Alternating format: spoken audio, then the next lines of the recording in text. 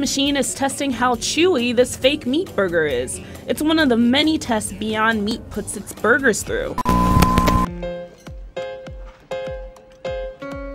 What do you think? It's quite good. I mean, that's light years away from what they used to make. The market is set to reach 6.3 billion in revenue by 2023. Bun, cucumbers, lettuce, ketchup, cheese, patty, tomatoes, bun. Those are the components of the beloved burger. For centuries, burgers have been one of the most popular meals all over the world, with its components evolving and varying rapidly throughout time. There have been countless innovations in burger making, but the most recent one is probably the most astounding, because it's the patty itself that's different. The difference isn't just the flavor, texture, size, or kind of meat, but in the actual ingredients for it, because the emerging patty is one that isn't even actually meat. That's right, now we have what is commonly referred to as fake meat.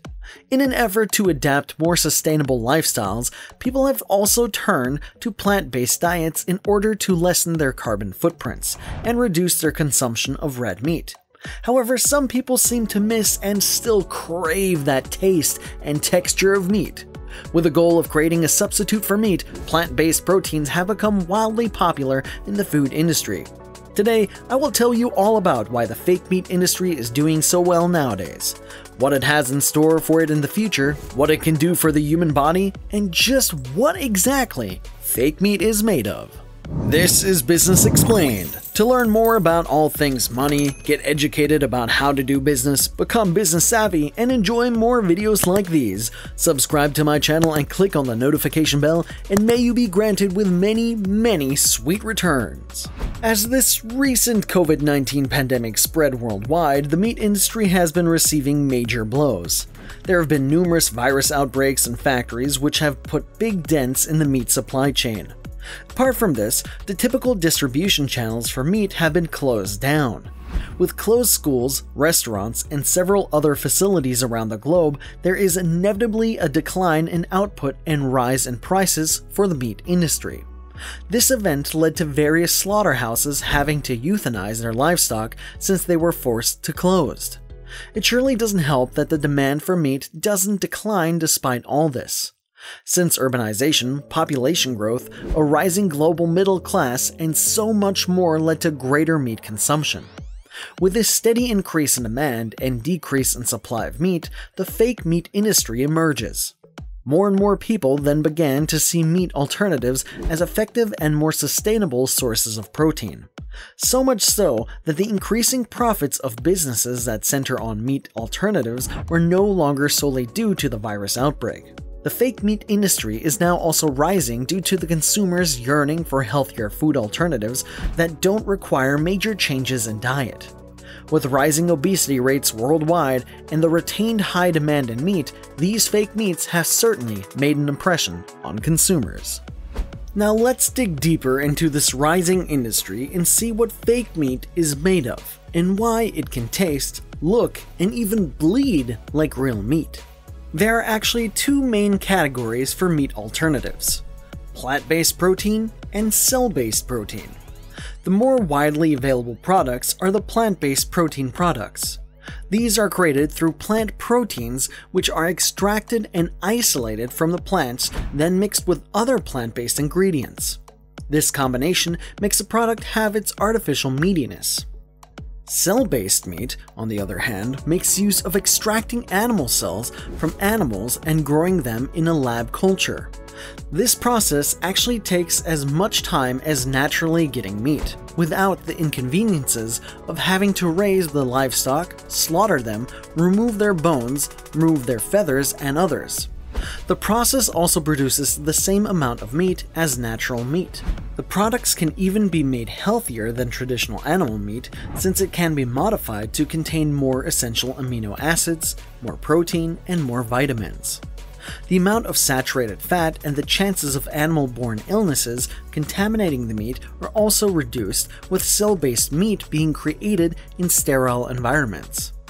All this is accomplished without risking the well being of livestock, which aids the fake meat industry amidst their growing disdain towards traditional meat, which has many cases of animal maltreatment.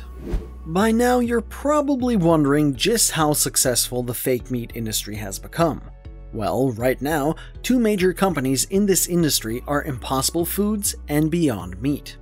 Impossible Foods started off targeting the commercial and restaurant market instead of directly targeting consumers.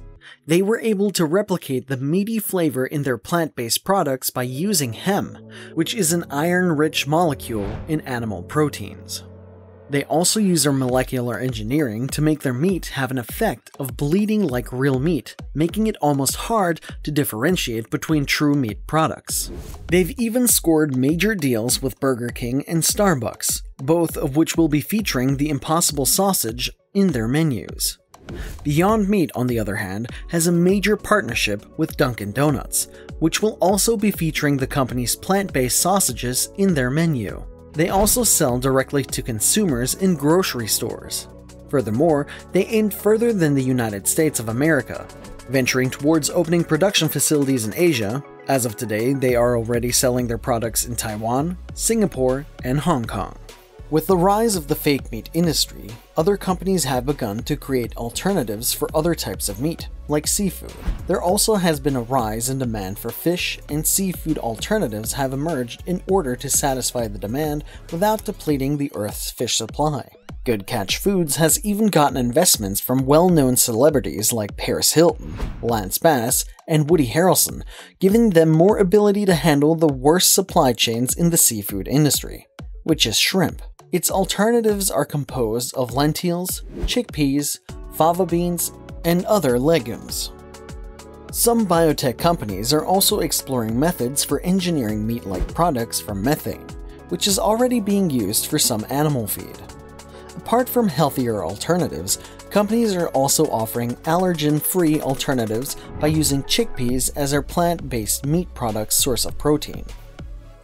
As you can see, plant-based meats have the power to stay strong in the market due to their popularity as a way to reduce livestock, which in turn leads to freeing up global cropland, decreasing soil erosion, relieving pressure on the world's water supply, and reducing instances of animal maltreatment.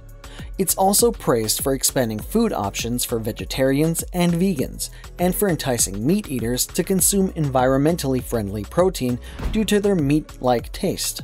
However, like any other industry, the fake meat industry isn't immune to criticism. A lot of the criticism towards it centers on its claim as a healthy alternative to real meat.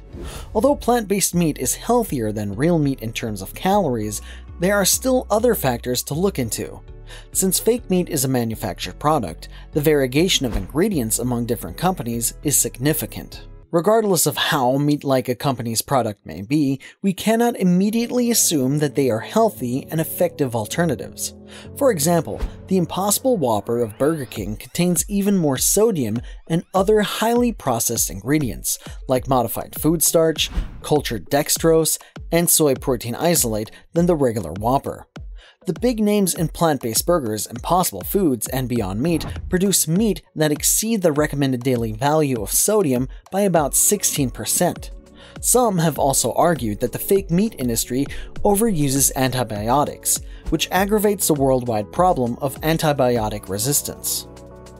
Apart from this, several critics have noted that replacing real meat with fake meat isn't automatically an improvement in diet quality if people retain their other unhealthy diets that go with their burgers, like fries and soda. Others only consider meat alternatives as traditional food for people to go through before turning to vegetarianism or veganism, since vegetables are still the cheapest, healthiest, and most sustainable option of food. In line with this, people critique the fake meat industry on their prices. Their products are mostly targeted towards a small percentage of the world, being upper to middle class, and the eco conscious consumers since the high demand is matched with a small market. In fact, the mentioned category of fake meat, the cell based meats, are actually considered a luxury goods. This is mainly due to fetal bovine serum, which is one of the key ingredients in cell based meats. Others have challenged the idea that meat alternatives are better for the environment, despite having advantages for the environment. Artificial meat still comes with its own hazards and costs for heating, electricity, and other resources. They also produce the same amount of emissions as chicken, producing about five times the emissions of vegetables and legumes. Along with this criticism comes worries for the agriculture industry. The meat sector is among the largest employers in agriculture, so the automation of meat production would definitely affect a lot of workers. The last criticism we'll cover is a psychological barrier against the fake meat industry.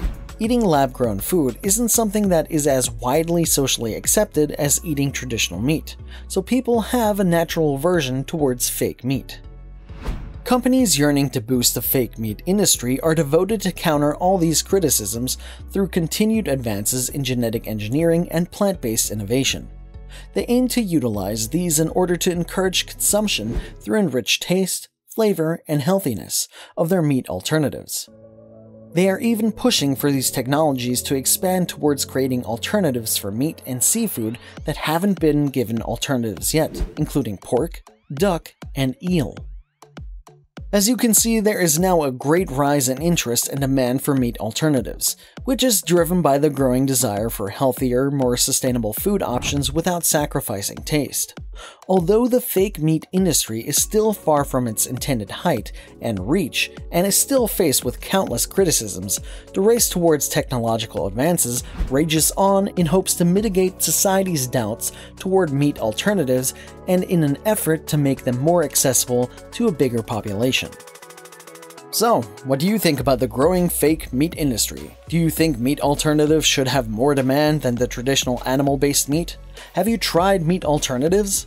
Let me know and let's talk about it in the comment section down below. I'll be replying to all of you who comment within the first hour. If you enjoyed this video, check out my other video on what does Amex actually do? Business Explained. Imagine never having to carry any cash around with you. You could go to the grocery store any time of the week and pick out everything you want and need. All you need is to swipe a little rectangular piece of plastic to pay for all your purchases at the checkout counter. Today, that's actually possible thanks to the invention of credit cards. These nifty little pieces of plastic are great for making cashless transactions and for keeping your assets all in one place.